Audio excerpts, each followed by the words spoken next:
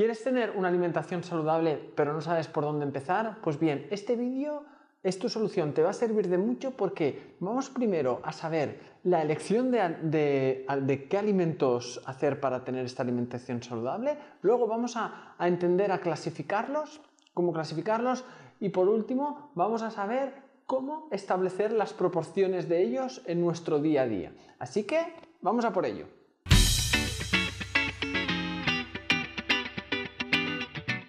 El primer paso por donde tenemos que empezar para tener una alimentación saludable es en la elección de alimentos.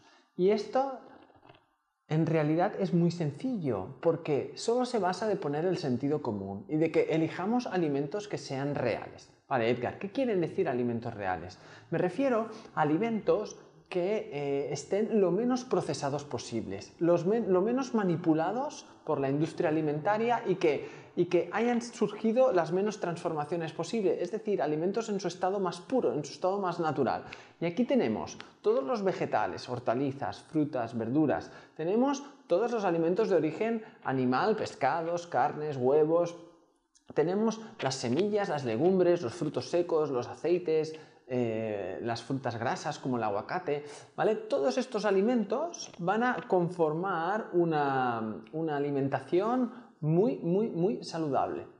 Bien, una vez ya los conocemos, que son los alimentos reales, vamos a clasificarlos. Y para ello vamos a hacerlo de, eh, una forma que sea sencilla, que esto que no nos dificulte, que no, que no nos ponga las cosas complicadas, que, que lo veamos de forma clara. Para ello vamos a clasificarlos en grupos de alimentos. Vamos a hacer cuatro grupos, estos cuatro grupos. En el primer grupo vamos a establecer las verduras, las hortalizas y las frutas. Bien, ¿cuáles? Pues todas ellas, todas en su conjunto. Bien, en el segundo grupo vamos a colocar los alimentos que tienen una cantidad de proteína importante, sobre todo los, alimentos eh, de origen animal como pescados, carnes y huevos, ¿vale? y algunas proteínas vegetales que podemos tomar como puede ser el tempeh, como puede ser el tofu, como puede ser el corn, el eura. El tercer grupo se basa en los alimentos que tienen bastantes hidratos de carbono. En este sentido vamos a poner los cereales, o sea, los granos, las gramíneas, eh, porque ahí están las cereales y las legumbres, y también vamos a poner los tubérculos. Así que aquí tenemos pues, el trigo, el arroz, eh, siempre que sean reales, integrales, eh, de, de, buen origen, de primer origen. La quinoa, la avena, las lentejas, todos, este grupo. ¿Vale? Y en el último grupo vamos a poner los alimentos muy ricos en grasas. ¿eh? En grasas como pues, eh, los aceites, las semillas, los frutos secos, los lácteos de buena calidad, eh, el aguacate. Este sería el cuarto grupo. Bien, una vez ya, ya, los conocemos y los hemos clasificados, ahora vamos a ver cómo los proporcionamos. Y para ello, fijaros en esta gráfica.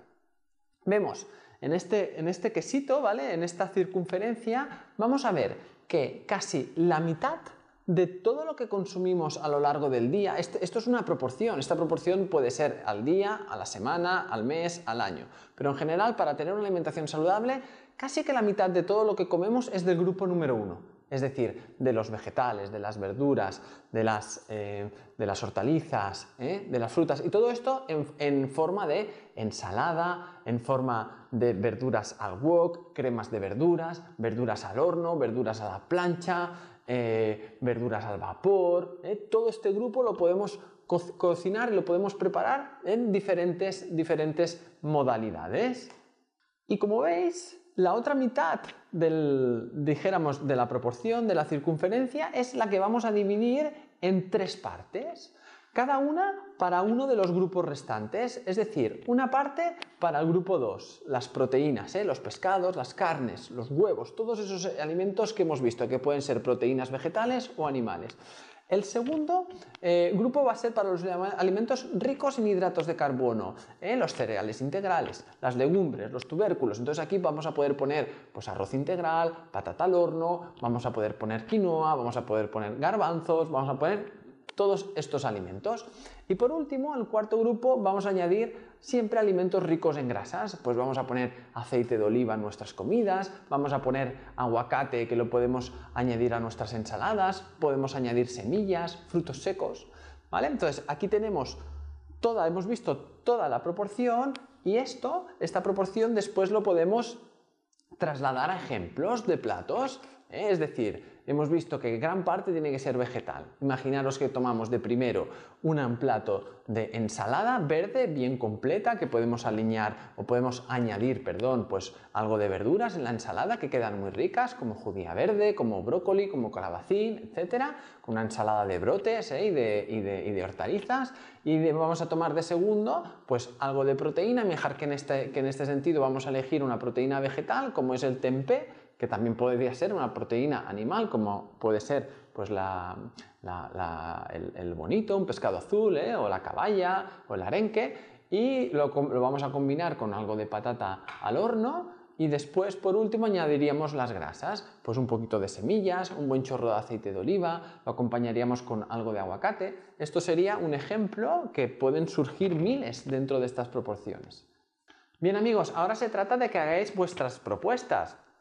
Espero que os parezca interesante.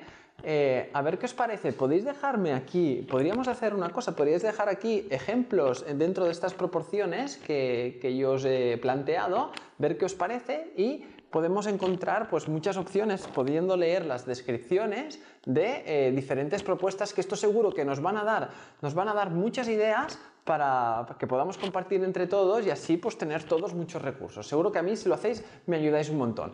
Espero que os sirva eh, la información y nos vemos en el próximo vídeo.